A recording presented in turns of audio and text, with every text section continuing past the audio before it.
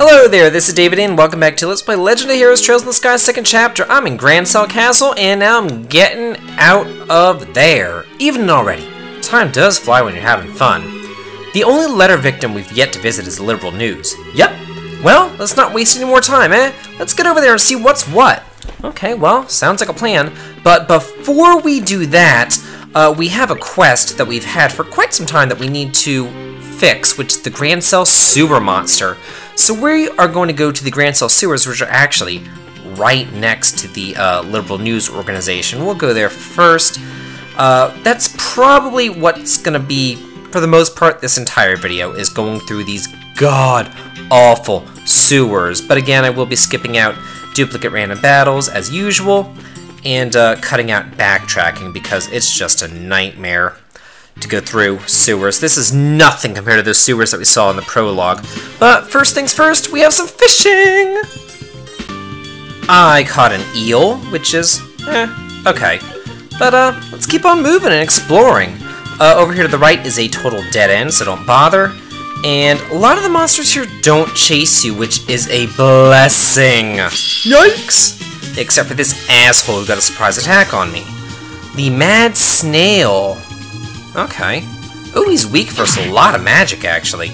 Maybe it wouldn't be a bad idea to put on not only the ruby, but also, I think it's the sapphire? Maybe it's emerald, I don't know. Those, those medallions that make your attacks elemental. If all the enemies here have elemental uh, weaknesses like that, it wouldn't be bad.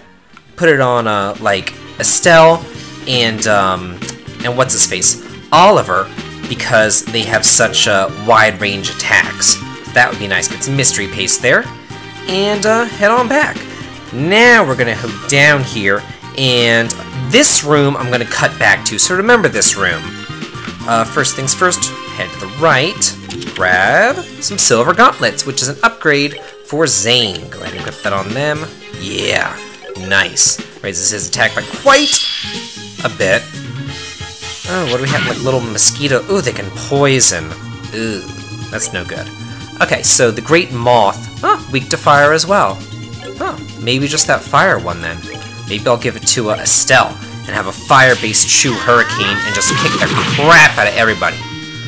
Or her regular True Hurricane could just suffice. Hey, works for me. I'm not one to complain. Well, awesome. So now we want to go this way, and, uh, whoa. Don't want another attack. You see another treasure there, which we can't get to that way, but if we go over here this roundabout route, we can grab it. Ooh, some Edel armor, which is actually really nice for Oliver. Uh, it's an upgrade, and it increases defense, magic attack, and magic defense for men only, so that's real nice for him. Anyway, I'm to meet you back in that room that I pointed out earlier. I'm back at that room that I said that it was, and I went ahead and I equipped it Estelle with that ruby talisman, and I upgraded uh, Oliver's orbment so that he has the mighty, where is it? Spiral Flare spell. That'll come in real handy for the uh, quest boss coming up. First things first, we're going to head all the way down and go in here for some treasure. Get some smelling salts. And now we're going to go all the way back up, avoiding that middle door. There's something in there right now, but we can't do anything with it quite yet, so I'm not too uh, concerned about it. Anyway, going over here, whoa, we can go up here, get a Zeram capsule, and head south. And here's our monster. Or monsters, it's never just one. And the reason why I gave Estelle that ruby talisman is so that she can get in the center of all these guys and blast them with a true hurricane because they're all weak to fire. It's amazing! Yeah. And these guys can be a royal too. So I'm going to basically have Chloe and Oliver on casting duty uh, to get as many of these guys killed as humanly possible. And if anybody um, is not in range, I'm going to have Zane just punch him, pretty much, is his job. Um, if you want to, you can use the, um, what is it, the, uh, the quick draw spell that Oliver has. Um, but I think that Spiral Flare will probably be a little bit better. But the thing is with these guys, is that they can summon allies, deal a lot of damage, reduce your speed, absorb your HP so you don't have enough speed to kill them, plus they're healing themselves, Plus, they're summoning more allies. Like, they are a bitch. So, you know, just something to keep in mind. Bam! Look at that! Look at that! It's nice. And then again with her true hurricane, because everybody's weak to fire, basically just move her wherever you can hit the most, and continue doing it to try to wipe the field of all the people that they try to summon. Uh, let's see, what else can we have? Could you have any kind of...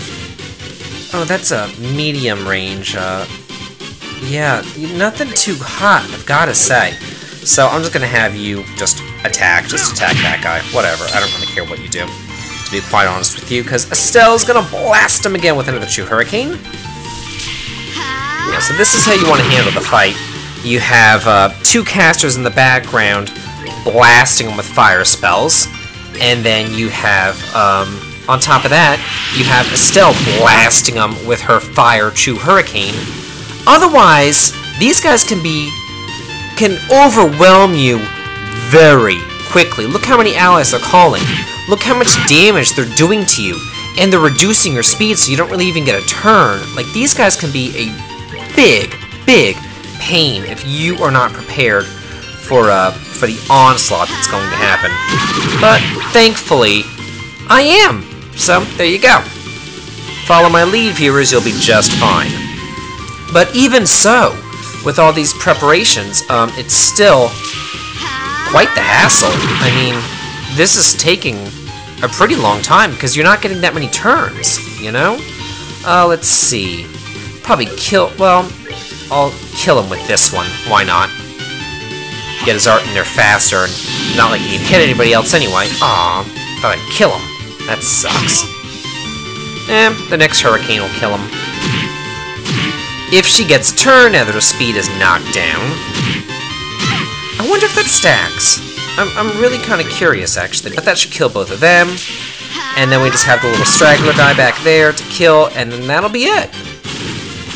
Not so bad at all.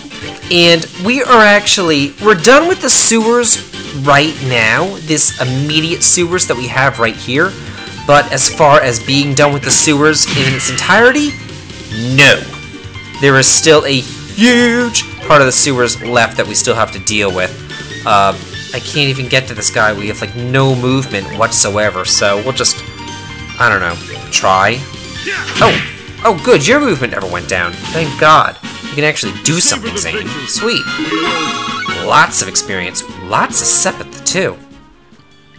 Nice. Sweet. Anyway, uh, we need to head back to uh, the Liberl News to talk to Niall. I'll meet you there. Made it out of the sewer in one piece. Let's head on into the uh, Liberl News Service. Let's see, going up here. And I want to talk to, I think it's you. Oh, Estelle. Hey, Chief, it's been a while. What do you need today? Business with Niall? Yeah, I got some questions on some guild business. Is he back from Ruan yet? Yeah, he should be in the office. Think I saw him go to the reference room. Okay, well, let's go check him out. See what he's doing, see what he's up to. There he is. Hey, Niall, hello! Who in the hell? Well, what do you know, you guys, how you doing? Good day, Niall. Pardon our intrusion. Oh, it's that bard guy, and, uh, your highness. Good day to you, yeah. You even have Zane the Immovable of Calvard with you. You got kind of a gang going here, Estelle. A lot of stuff has happened since we met last. How's your coverage of the election in Ruan go? Damn, well, that's how. Got the article done thanks to in part to you guys. Speaking of, what brings you by today? Got a hot scoop for your old buddy Niall? Well, actually, we're the ones who'd like to know something. We heard the Liberl News received a threatening letter. You guys investigating that thing? I figured the military would have been taking care of that one. We're working on a request from the military, actually. So do you know anything? Well, I just got back to the capital, so I don't know too much. To be honest, I'd like to hear what you guys know, if anything. That's real helpful, Niall. Come now, you're a newsman, a hound for a good story. Surely you must have a clue as to who our villain is. Don't have time for this. Uh, that's a bit impolite, you two. Niall, I know this is a lot to ask, but please, if you know anything at all, please share it with us.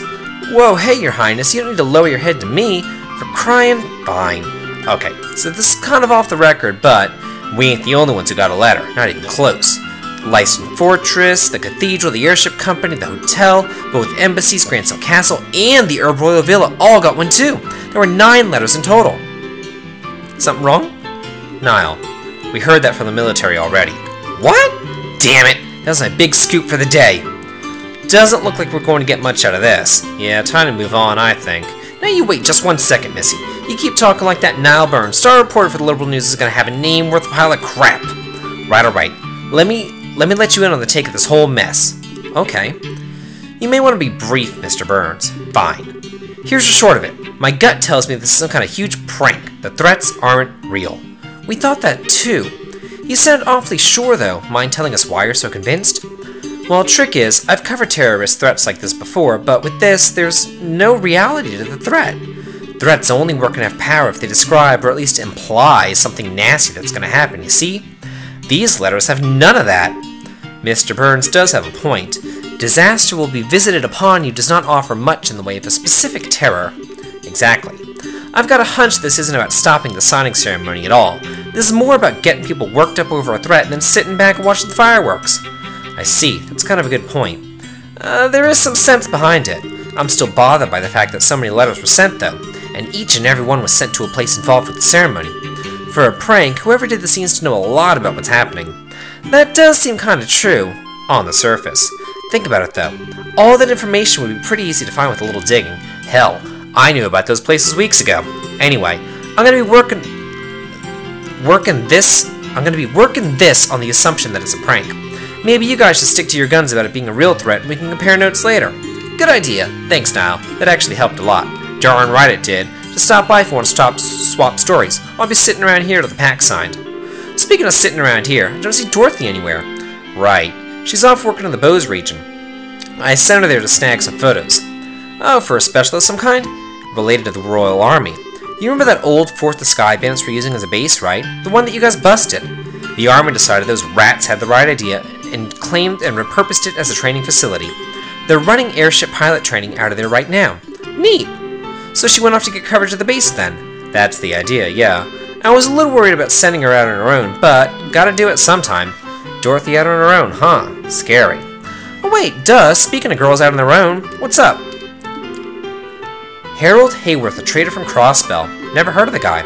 Pretty sure he's never been in our classifieds or our wanted column either. Figures. Uh, but hey, this is part of the job, right? If you guys are totally stuck, I'll help you out. We can put him up in the classifieds if you want. I even have a few people in Crossbell I can poke. Thanks, Niall. You're way more reliable than I thought you'd be. I think I need to upgrade my opinion of you. Of course you do.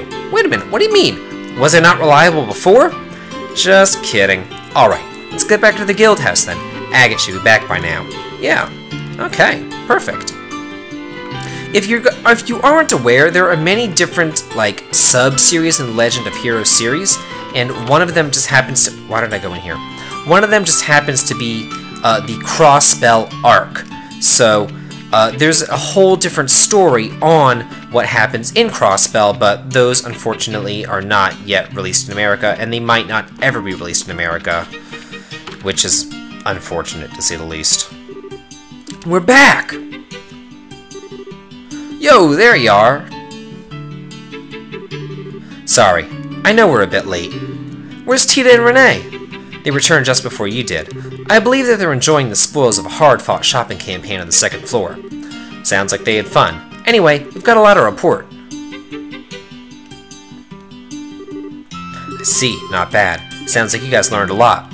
And we didn't get anything decisive, though. Did you find anything? I got Jack. Nobody had a single freaking clue who could have sent the letters. The head guy at the airship company was sweating courts that a demand for money might come in next, but at this point, not so much as another peep. Doesn't really narrow things down much. How likely do you think it is the societies behind all this? I don't think we could safely say that at this point. Their primary focus up till now has been experimenting with those bizarre gospel orbits they possess. And we know the gospels can create phenomena otherwise unimaginable. Those devices certainly haven't shown an ability to create threatening letters from nowhere, however. Yeah, this doesn't really seem like it matches the society's MO. I guess Ruan and Zeiss just have me on the edge. No, it's perfectly understandable. Regardless, I think we can safely say we've done our part. I'll compile all your testimonies into a report. Could I ask you to deliver it to Colonel Sid at the Erbe Royal Villa tomorrow? Sure. We didn't find the sender in the end, so I feel kinda bad, but I guess it's all we can do. Oh, Herb, right! Agate, did you find anything out about it, Renne? I did, actually, or actually I... Wait, let me start over. I went to the hotel first. The kid and her folks stayed there for about two weeks, same room the entire stay. Typical tourist stuff. They just checked out this morning. Then I went to the cathedral. While they were here, the Hayworths came to worship a bunch of times. Thing is, the priest who attended them said they felt off when they did, like they were distracted during prayer or something. That would match what Miss Hilda said. Yeah. And then, at the airship company, that's where I found Zip. Wait, what? Harold, Sophia, and Renne Hayworth of Crossbell, right? There have been exactly zero passengers by that name and nationality coming through here for at least half a year. No way! That is a mystery, though perhaps they travel by land. Did did she come to Liberl by land? You have to say, wait a minute. That can't be right. When we first met her, she was talking about landing in an airship. Right, at Air-Letten. She said she saw a big lake on the way down. Troubling. It's possible they were traveling under assumed names. Assumed names? Why would they? They may have had something to hide, or they may have been hiding from someone. Either way, they must have known something was wrong before they set out. I've contacted every guild branch in the country about Renne's parents. For the moment, all we can do is wait for more information to come in. As for Renne herself, I think it would be best if she stayed in the care of the guild for now. Yeah, I'd feel terrible if she got wrapped up in something. You could leave her with me, maybe. This mission kind of feels personal right now. I was going to suggest that, actually. Thanks. The guild will pay for everyone's lodgings while you're in Grancel, naturally, and that includes Renne, so don't worry. Thanks. Speaking of staying the night, we might not actually need that tonight. You see, Ah, quite the invitation. I think I'll pass. The castle's a bit too rich for my blood, and I'm not really keen on staying there. Besides, it'll be easier for Elnian to reach one of us at the hotel if something happens. Oh, I hadn't thought of that. We might hear something about Renne's parents. I guess I should stay at the hotel too then. Sorry, Chloe. Eh, don't worry. I'll explain the situation to Hilda. I'm sure she won't mind. Zane and I are going to stay in our respective embassies. The princess shall retire to her castle naturally. So that means you two and the girls will be staying at the hotel then. Parting on these terms would be dreadfully dull. Since we're all together this evening, shall we enjoy a nice dinner at the bar? Good idea! And you know, I'd actually like to hear you play the piano again, Oliver. It's been a while. Ah, sweet maiden, you know just how to pluck my heartstrings. Have you come to appreciate a mature flavor at last, I wonder? I'm gonna snap those heartstrings if you keep it up. Snapping or no, we should get going. With a group this large, it could be hard to find seating. Alright, let's gather up the kids and get on over to the bar. Okay. Oh, that's nice. Oh, really? Oh, nice. They had a good time at dinner then. Everybody joined them. Nice.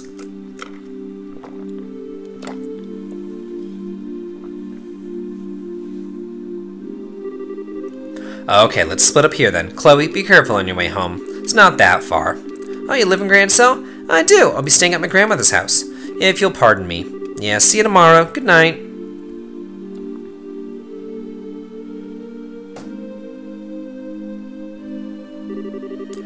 That was one heck of a party. Oliver even dragged poor Mueller into it. Yeah, well, you called up that reporter too, you know. I figured, what the heck. Did you have fun, Renne? Yeah, I did. The food was good and everyone was talking about neat stuff. Piano was really pretty too. Oliver's really good at it. And he's not all hot air when he calls himself a traveling performer, I guess.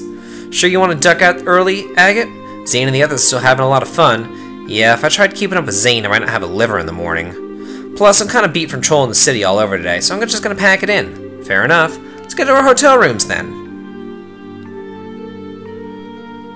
Yeah, my friends want me to go out pretty much every single weekend, and there's just no way. I'll go out Friday and Saturday, but not Sunday too, and sometimes even Thursday they want me to go out, and it's just, ugh, no. Oh, that sucks. Uh, sure. How do you want to split them up, Agate? I don't care too much. Set it up however you want. I want to be with Miss Estelle. You've been busy with work, so I haven't had any time to talk at all. Well, aren't you such a brat? Yeah, now Tita wants to be with Miss with uh, Estelle. Poor Agate. They're all now they want to all do three to a room. Yeah. nobody wants nobody wants to stay with Agate. I'll be with you, kiddo. This reminds me of when we were hiding out with Gramps. Now that you mention it, it does.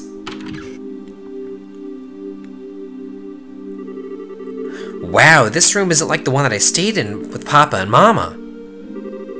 There's a big building outside the window. Oh, so Joshua and I have to share this room for a while. What's wrong?